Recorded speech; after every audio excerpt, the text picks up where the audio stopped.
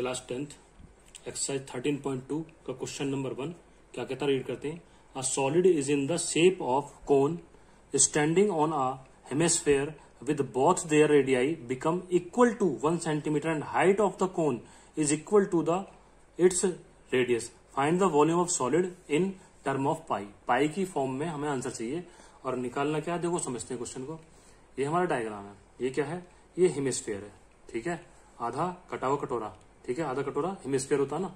तो इसके ऊपर कोन है, ठीक? इस कोन में और इस हिमेस्फेयर में क्या दे रखा है? इसकी रेडियस दोनों की। इन दोनों की रेडियस कितनी है? वन सेंटीमीटर दोनों की रेडियस कितनी है? वन सेंटीमीटर और जो हाइट दे रखी है कोन की, वो दे रखी है वन सेंटीमीटर ठीक है? तो क्या निकालना है? इस पूरे डायग्राम का, इस पूरे सॉलिड का हमें क्या निकालना है? वॉल्यूम निकालना है। तो वॉल्यूम कैसे निकालेंगे? देखो हिमेस्फेयर का वॉल्यूम और कोन का वॉल्यूम दोनों को प्लस कर दें तो हमें दोनों का, हमें सॉलिड का वॉल्यूम मिल जाएगा। तो कैसे निकालेंगे volume of solid is equal to volume of hemisphere plus का वॉल्यूम ऑफ़ कोन, ठीक है? वॉल्यूम ऑफ़ हेमिस्फीयर प्लस का वॉल्यूम ऑफ़ कोन, ठीक है? इसका वॉल्यूम और इसका वॉल्यूम, दोनों का।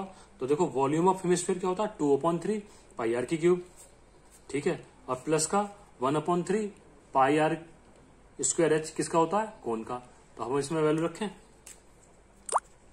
तो टू अपॉन थ्री पाई की वैल्यू कितनी? पाई तो रखना ही है, खैर हमें। ठीक है? मल्टीप्लाई आर की वैल्यू कितनी? वन का cube plus one upon three.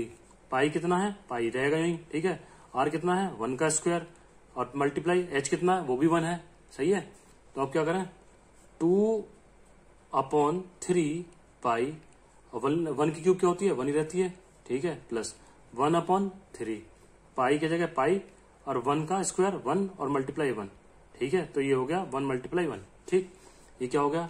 To upon three पाई, ठीक है, पाई वन जा पाई, प्लस का। वन अपॉन थ्री पाई की मल्टीप्लाई वन सकरी तो ये क्या होगा पाई ही रह गया, ठीक है। एल्सियम ले लो इन दोनों की तो क्या आएगा? थ्री नीचे आ गया एल्सियम में, ठीक है। तो थ्री से थ्री कैंसिल, टू का टू और पाई का पाई, प्लस का वन पाई, ठीक है, यानी कि पाई।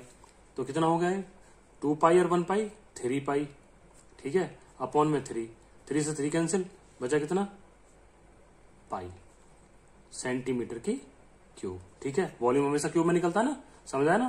भाई, हमें पूरे सॉलिड का क्या निकालना? वॉल्यूम निकालना तो हमें क्या करना पड़ेगा? कौन का?